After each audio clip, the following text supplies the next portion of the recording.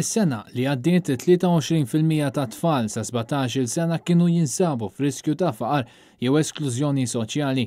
Dan ħareġ minn statistika Ewropea ppubblikata mill-Uffiċċju Nazzjonali tal-Istatistika hekk kif l-20 ta' Novembru jitfakkar il-Jum Dinji tat-Tfal.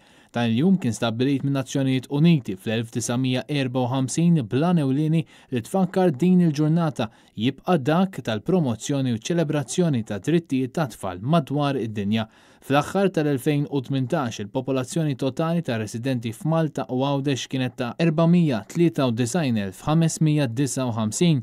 Minn dawn, 80,196 kellhom l-età sa sbattax-il sena. Tnax fil-mija mit-tfal kollha kienu barranin. L-istatistika miġbura mill-Uffiċċju Nazzjonali tal-Istatistika turi li din il-parti tal-popolazzjoni naqset b'14,442 meta mqabbel mal-livelli tal-2000.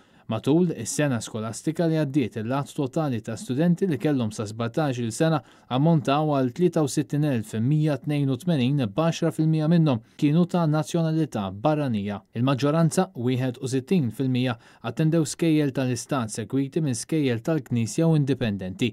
L-istituzzjonijiet edukattivi li ospitaw l-akbar numru ta' studenti kienu f'Birkirkara segwit minn Pembroke u Ħamrun rispettivament.